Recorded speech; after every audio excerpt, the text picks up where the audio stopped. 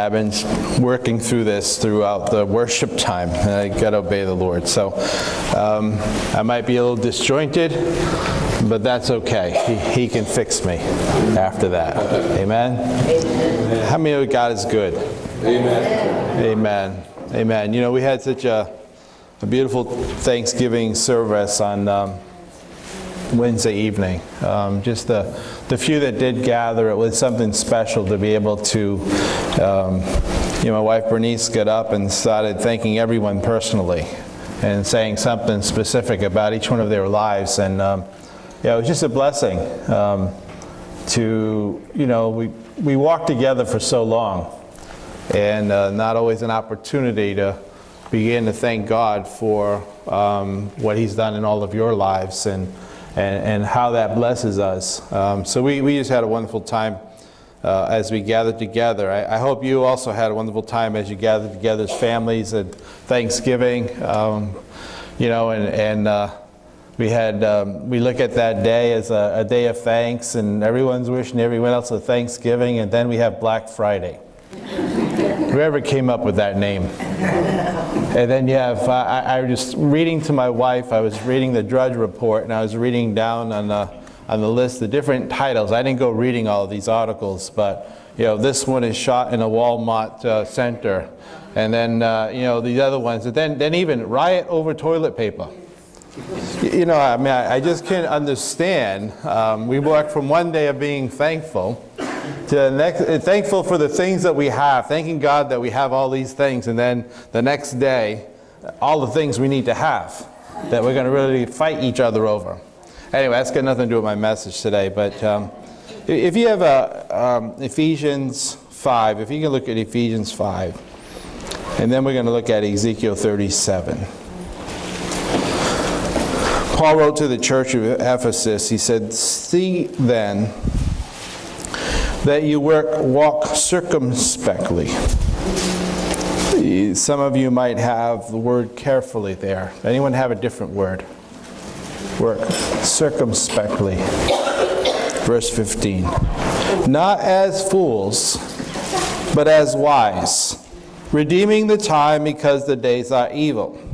Therefore, do not be unwise, but understand what the will of the Lord is, and do not be drunk with wine in which is dissipation, but be filled with the Spirit, speaking to one another in psalms and hymns and spiritual songs, singing and making medley in your heart to the Lord, giving thanks always for all things to God the Father in the name of our Lord Jesus Christ, submitting to one another in the fear of God.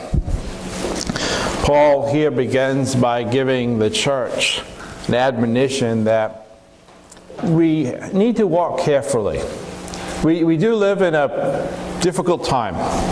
We live in a dark time. In many of our lives, we recognize there are things going around us. There are ideas that people have that are far from the ideas of what we've learned and what, what it means to, to walk in Christ. And so he's saying here, don't, don't be unwise. Know what the will of God is. Um, but he's also expressing here that, that we're not to be moderated by some kind of, a, you know, like whether it's drinking or something else. People seem to find their joy and their exhilaration in certain things, whether it be alcohol, now we, we legalize pot, you know, we have all these other kind of things. People are trying to get a high on life in something that's artificial. Maybe it's all those things you bought on Friday. I don't know. We're, we're, looking for, for some way to, to, to do this, but he says, don't be drunk with those kind of things, but be filled with the Spirit. And if you're filled with the Spirit, then you're going to speak to one another in psalms and hymns and spiritual songs. You know, there's something that God is speaking to you, and you're going to take what God is speaking to you and speak it to someone else. When we have fellowship with each other, um, we, we have something of substance to say. We, we can encourage, we can challenge sometimes. You know, they're, they're, whatever it is that, that we're doing, we're, we're, we're relying on God to do something to fill us so that what He fills us with, we can then share. Isn't that the beauty of coming together as a church? You know, I know, I know sometimes we look at the model that we have here, and, and, and you come and you sort of depend on somebody to come up here to say something. But, but that's not really what church is. This is just a, a piece of a form, but the reality of church is this is that you and I come here together ready to share something. What you have to say is just as important as what I have to say. But, but we learn that that's not the way we do things, so therefore, in reality, we can kind of become passive, can't we? We'll, we'll let somebody else hear from God for us. Isn't that what the children of Israel said to Moses? Look, I can see that mountain, and, God's shaking up there. There's thunders and lightnings, and, and, and you can hear his voice. And so, Moses, you go up there, you hear from God, and you let us know what he says. Whatever he tells you and you tell us, we're going to obey it. Fat chance, right? we know what happened with that. Moses would get in the presence of God and he would change. He, he, would have the glory of God on him. But, but the people, when Moses shared the words of God to the people, there was no glory on them. Because they were trusting in someone else to be in the presence of God for them. That wasn't God's purpose. God had called Israel to be a kingdom of priests and kings unto God. That they individually were to be in his presence, that they together were to be able to, you know, understand that God would live in them. You know, we read in, in John 15 when Jesus says, I'm the, the, the vine. The Father is the vine dresser. You are branches. But if you abide in me and I in you, you'll bear much fruit. Then he says, Apart from me, you can do nothing. All that's left to be done by the husbandman is to cut the branch off. What happens when you cut off a branch? It dries up. It dies, doesn't it? Can a dry, dead branch bring forth fruit? Is there any hope for that dry branch? There's no hope for the dry branch. It's cut off. Look at Ezekiel 37 for a minute.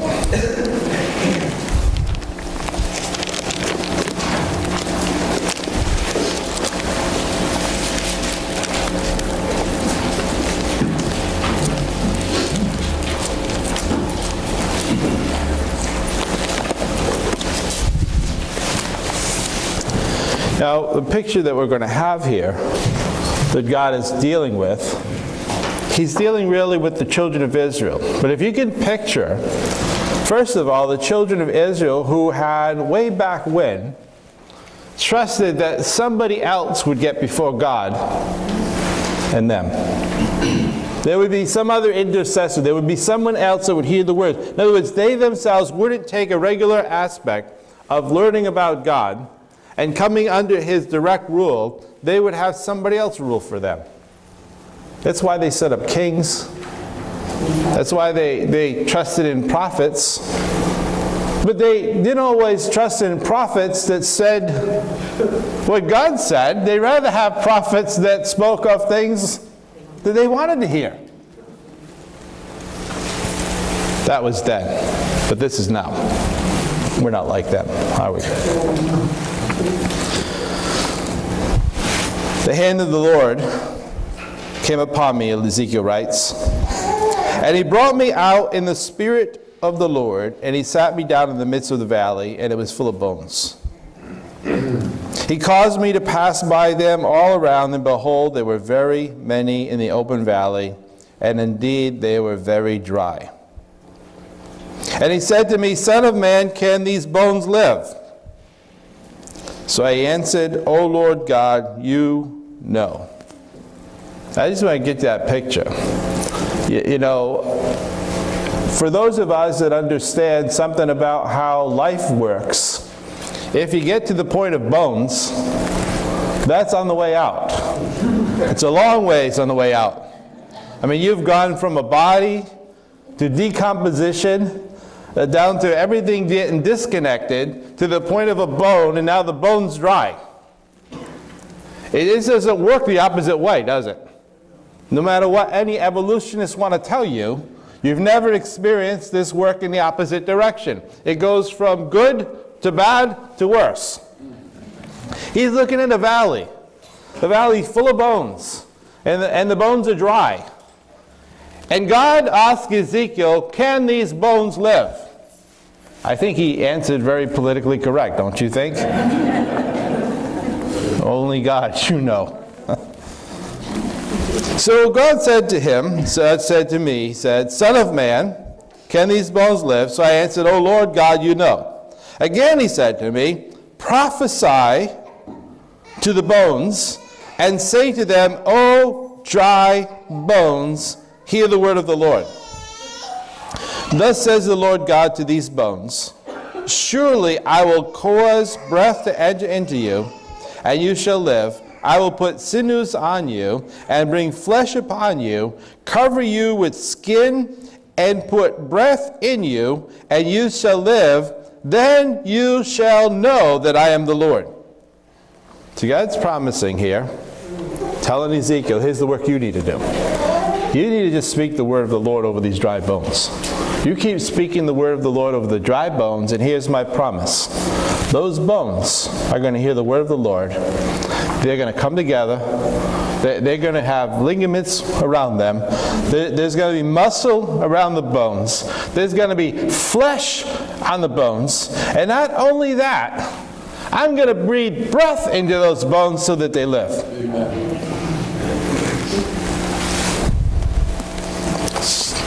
So I prophesied. And I was commanded to do, and I prophesied there was a noise, and suddenly a rattling, and the bones came together, bone to bone.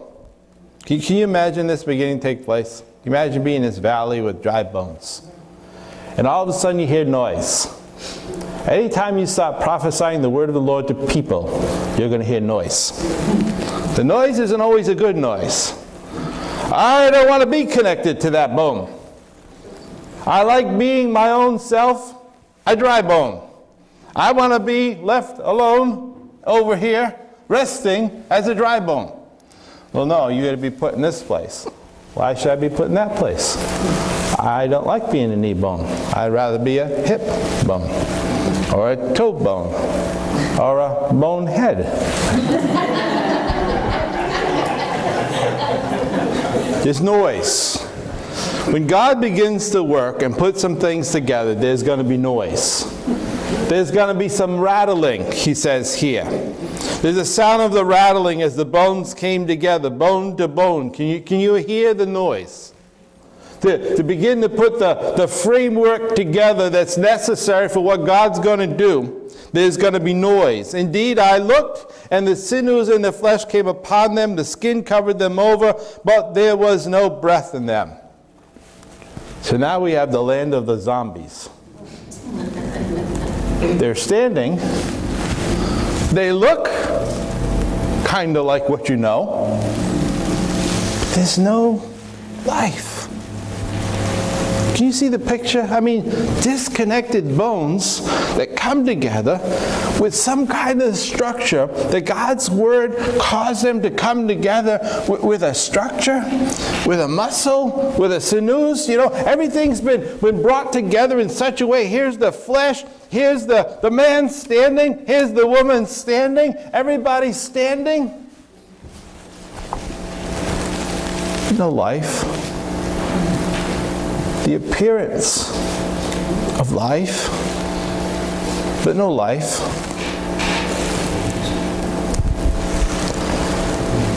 No breath in them. And he said to me, Prophesy to the breath.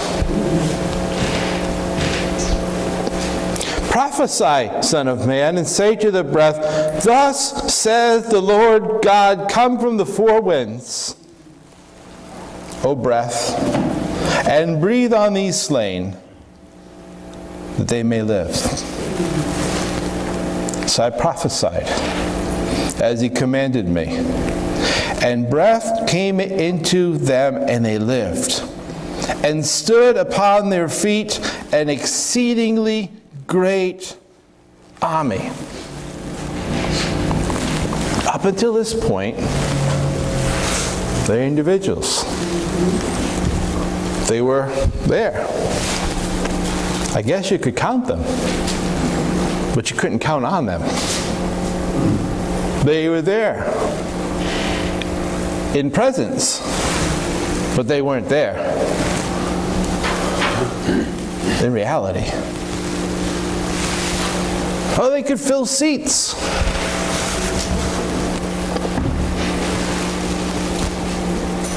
Weren't alive. And so the word of the Lord says, prophesy to the breath, that the breath might enter them. And as he did, these dry bones became an army for the Lord. Then he said to me, Son of man, these bones are the whole house of Israel. So now he's giving them who these bones are. And they indeed say, Our bones are dry, our hope is lost, and we ourselves are cut off. Therefore prophesy and say to them, Thus says the Lord God, Behold, O my people, I will open your graves, and I will cause you to come up from your graves, and I'll bring you into the land of Israel that you shall know that I am the Lord when I have opened your graves, O my people, and brought you up from your graves. And I will put my spirit in you, and you shall live. And I will place you in your own land. Then you shall know that I, the Lord, have spoken it and performed it, says the Lord. God speaking to his children, Israel. You know, they had been already um, brought into captivity. This is a, a people that had not followed the ways of God. Their leaders had not followed the ways of God. Their priests had not followed the ways of God. Most of their prophets had not followed the ways of God. And now they're in captivity. They're under the judgment of God. And so they're saying here, where's our hope? What is the hope of the future? Because God promised us a land, and we no longer have the land.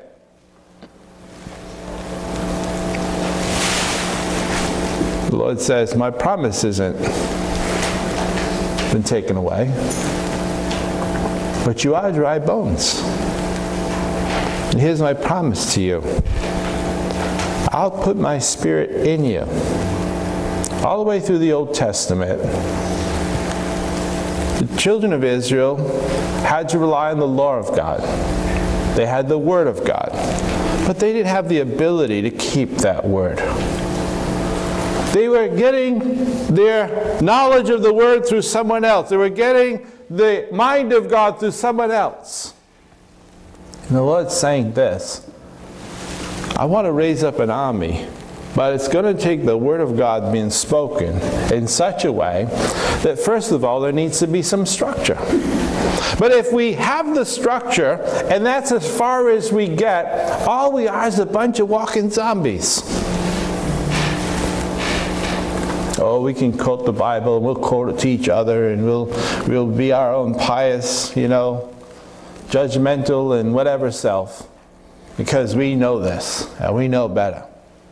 But inwardly we know that we're nothing but a bunch of dried old bones. But the Word of God here says that the Spirit needs to come into the bones so there would be life. Now I know there are those that are all spirit focused. But you know what? If you're all spirit focused but you have no bones, you can't do anything either. Seems like we have this struggle between churches of the, the, the haves and the haves nots, you know? Some that rely totally on the Spirit of God, but you can pretty much do anything you want to do in your life. Then you get the others that are, you know, really trying to follow the Word of God, but there's no room for the Spirit of God. Neither brings life. We need the Word of God And we need the Spirit of God for us to see change take place in our life. We need the Word of God to shape us to be connected the way God has called us to be.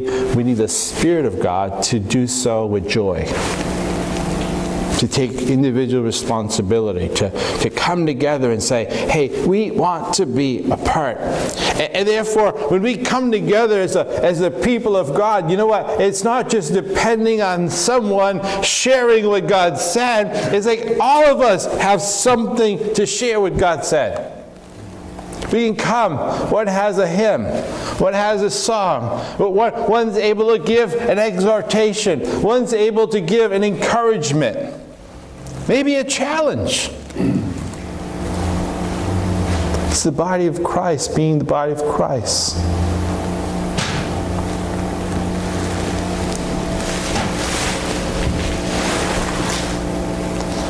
When God's word is preached, it has the power to accomplish what it needs to accomplish. The Bible says that God's word goes out and it does not come back void which means it accomplishes what it's supposed to accomplish. That, that means God's word spoken in His Spirit brings life. You might not always like what His word says to us. There might be some rattling going on when His word is spoken. There might be some noise even that takes place. But it's necessary to see the Spirit of God work in all of our lives.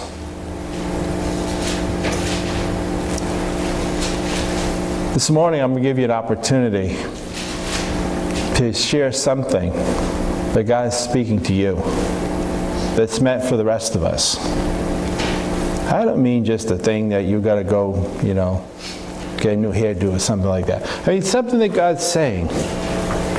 You've been holding on to it, maybe. Been sitting on it.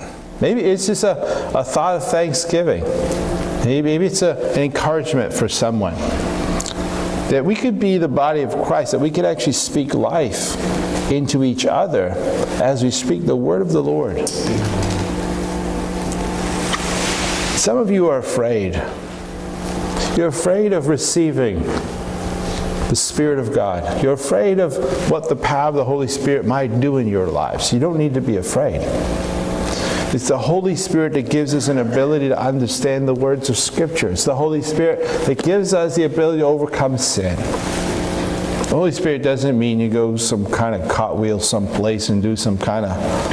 He'll use your personality in whatever way you want to do, but you know what? It's important that when He speaks to you, that you listen. That's the only important thing. Yeah, like God's word can guide us. I don't mind scrapping the message today because the message is only my best interpretation of what I want to say today. But, but if God is saying something else that's more important for right now, last week I shared about how I, I, felt like there's this little sadness. There's something going on. You know, we can conjure something up. We can get smoke screens over here. We can do some other kind of thing. We can make church like a carnival. None of which really brings life, does it? It's an event you go to and you leave. And when you get home, guess what? You have to live with you. So does everybody else. Doesn't change us internally. He doesn't change us at all. That means our mind has to change. That means our spirit needs to be willing to cooperate with what God has to say. I'm more than confident that He has a message for us today through His people. We're going to take communion together in a few moments after. I want to give you an opportunity to share. Thought, too, um, word of encouragement, uh, maybe uh, something that the Lord is teaching you for the rest of us, so that we can hear from the people of God, the Word of God, today in the Spirit of God. Is that good? Amen. Hallelujah. Do you have a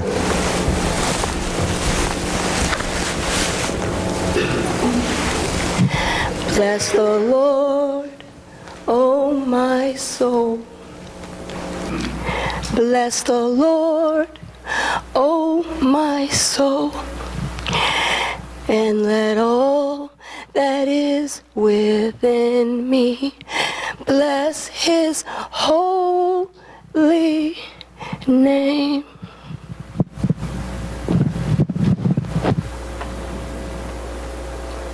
The reason I say bless the Lord, oh my soul, is not because everything is good and perfect. Not because everything is going the way that I think it should go.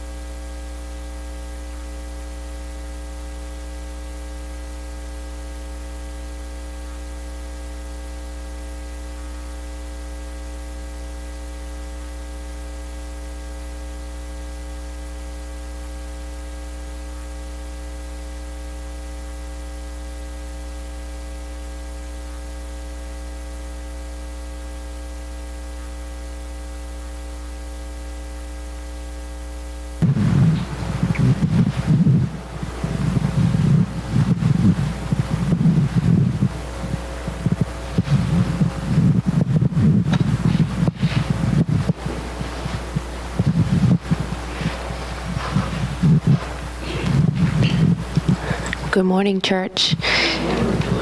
I just want to say on this Thanksgiving weekend that I have a lot to be thankful for.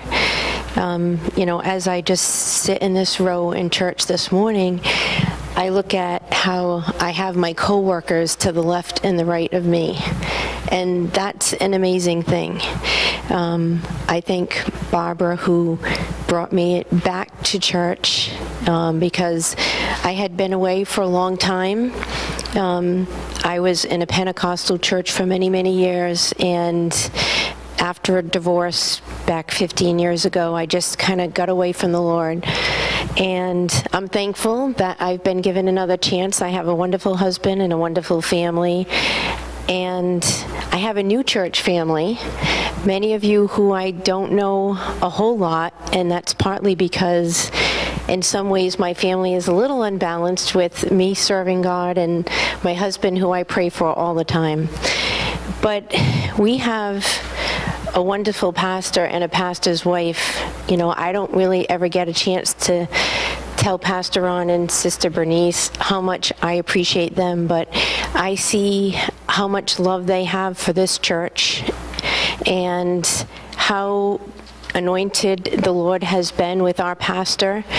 And to see you this morning just be used by God to say, Lord, what do you want me to say, or what is it that you want for your people this morning? That to me is like I get goosebumps inside knowing that that's God speaking to all of us. But um, I just want to say thanks to Sandy and Barbara as well because I'm so blessed to know that when I go to work every day, we have a great team working together with one another, and to know that you have godly people around you is huge because we work, we live in a world today that's so crazy and confusing. So to have all of that, I'm just thankful for so much. So I just want to say thanks and thanks to all of you.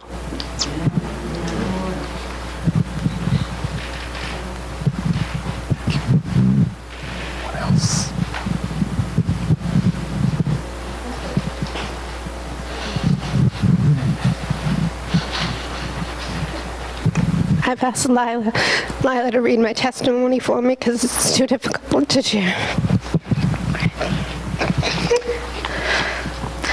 Psalm chapter 16, verse 8 says, I know the Lord is with me. I will not be shaken, for he is right beside me. In his oh, 1 Peter chapter 5 verse 10 says in his kindness God called you to share in his eternal glory by means of Christ Jesus.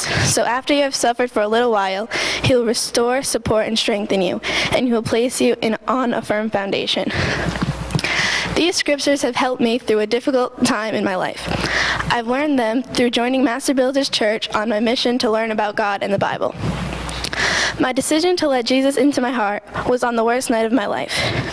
I was suffering from severe depression and wanted to end my life to stop the pain. My husband is an alcoholic, and my life has become such a struggle I couldn't bear. We've been married 28 years, and he is a good man with a disease I just can't fix. One night, after begging him not to go to the bar, I just snapped, and the painful thoughts were unbearable. I got some pills and went to my bed to take them, and I heard in my head, You are not alone. This is not your time. There is more to do with the life I have given you. Now, suffering from depression, there are not a lot of good thoughts going on in your head, but hearing this helped me and gave me strength. I called my sister to take me to the hospital. I was in treatment for depression in a program for a week, and I knew as soon as I finished the program, I was going to church to learn about God and get the healing that I need. Now my sister and her family have been Christians for a long time. I could have gone to church with her, but I felt God was leading me to this church, and I am just trying to follow him. I asked my niece Lila to attend Master Builders with me, and her parents agreed. Lila has helped me with this journey. I am so grateful for this. Thank you, Pastor Ron and Bernice, for welcoming me into your church family. Now, as for my marriage, I have separated from my husband, but not legally, and he still provides for me. He is a good man with a bad disease. He was never abusive to me in any way. I was just left alone all this time. I still have hope for my marriage and hope that God will heal my husband. But living under those circumstances was not good for me, and even my husband understands this. Jesus died for our sins so we can be saved to eternal life and living my life now.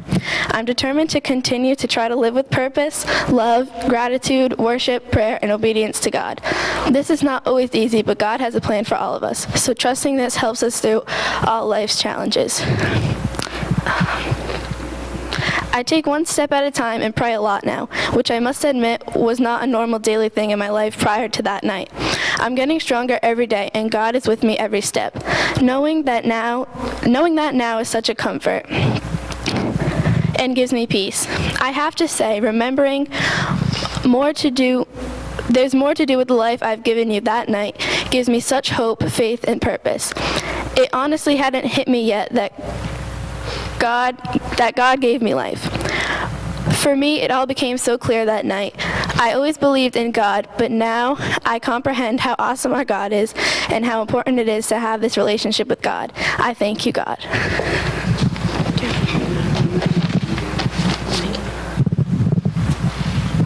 Amen. Uh, I want just to. I think the word was was so powerful today, um, and as God told uh, Ezekiel to prophesy over the dry bones, so we are the church of the Lord, and we will prophesy over the dry bones.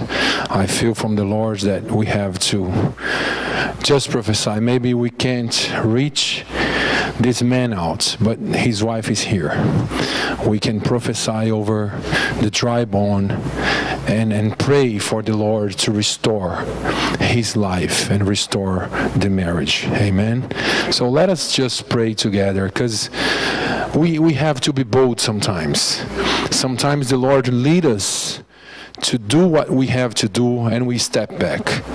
But when we are bold as God called us to be, things can happen. And I don't know if you trust and if you believe, but if you believe, we can do it now. And I, I, I'm pretty sure that we serve the same Lord, the same God that Ezekiel heard that day. So we're going to do it now. Amen. Lord, I, I want to, to take this step of faith and I want to prophesy over my sister's life. And I want to prophesy over her husband's life.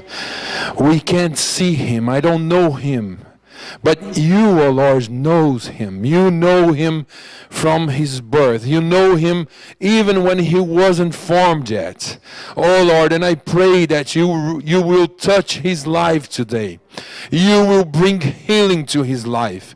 His spiritual healing, physical healing, mental healing. Oh Lord, and everything that's going on in this family.